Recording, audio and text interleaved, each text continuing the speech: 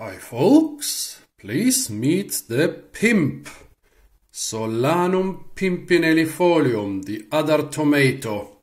Yeah, it's actually called the pimp because of the Latin name Solanum pimpinellifolium. It's also known as the wild tomato or the currant tomato. First time I saw this, those little beauties, I didn't buy them because I thought, well, okay, after those breeders have marketed dozens, maybe hundreds of cherry tomato varieties, now they are just going a little bit smaller with those pea-sized tomatoes. I thought that this is just Solanum lycopersicum, but nope. This is a different, legitimate tomato species. Well, it's not that simple because because we don't actually know where the domesticated tomato comes from. And one theory is that Solanum pimpinellifolium is actually the wild form of the tomato. It is genetically very close to our tomato, Solanum lycopersicum. Well, both are of course in the section Lycopersicum of the genus Solanum, or you could say in the genus Lycopersicum, which means tomato. And yeah, there is a theory that those little things are the wild form of the domesticated tomato. Well, by domesticating the tomato, humans first, of course, uh, selected the bigger fruit, and then later they also selected fruit with many carpels to have more flesh and less juice.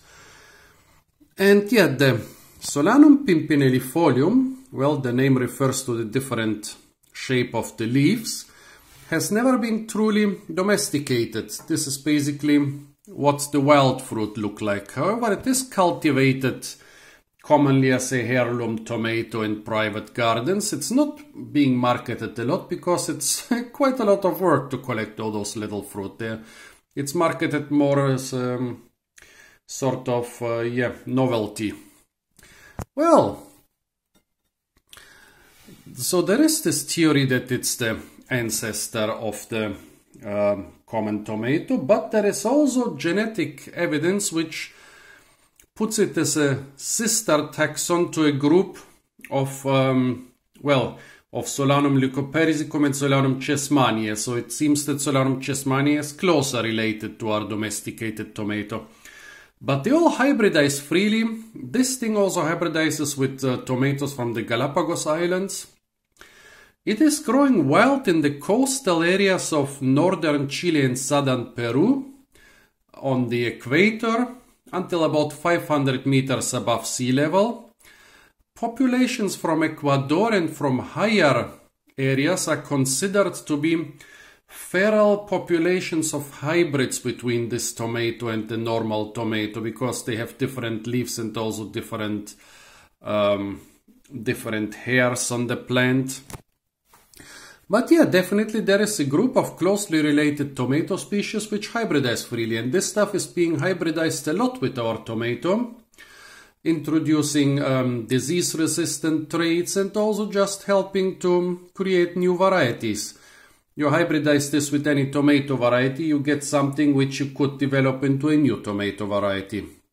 Normally the berries are uh, red, but this is a yellow version. I think I saw the red one somewhere, but um, yeah, I got the yellow one. Also, I saw those things on a stall on the market of Mannheim two weeks ago.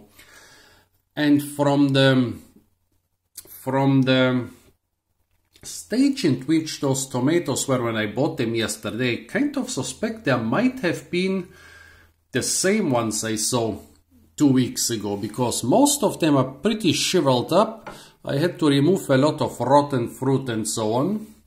So when I do the test taste test, I don't think that they will be in their prime taste-wise. Yeah, a lot of them are still are still quite uh, are still uh, quite uh, plump and full of juice, but some of them also have started drying up. I mean, it's the, it's the huge uh, surface area compared to a small volume. First, let's try one of those dried up fruit. It's like a tomato. Yeah, like cherry tomatoes. Like overripe cherry tomatoes. Pretty pretty nice. Like a nice sweet cherry tomato. However, the skin is very tough for a tomato, that's I. I would have expected it to have a very thin and soft skin like the uh, like the Solanum nigrum group. I mean, they they have fruit which are sometimes that size, but they're they they're very easy to pop in your mouth. Well, those here, yeah. A small tomato with a tough skin. I don't know if this has been bred in order to allow easier harvesting. It said that the species is not domesticated, but it, those are the wild forms. But I wonder if the wild tomato, well, there are a lot of Solanum species with very tough skin on the fruit. Though this could be natural. But yeah, taste-wise, this thing is well inside the tomato range. The only thing that is surprising to me is the skin, which is basically like the skin of a big tomato. And I would. Bah, this one was bad. I would have expected the skin to be much more tender and thin in those tiny tomatoes. Hmm. Interesting. Yeah. Not bad as a snack. I mean, as a snack I would still prefer cherry tomatoes, they're a little bit bigger. But yeah. Definitely a funny thing to have. Try it at least once, or maybe even several times. Good for breeding modern tomatoes.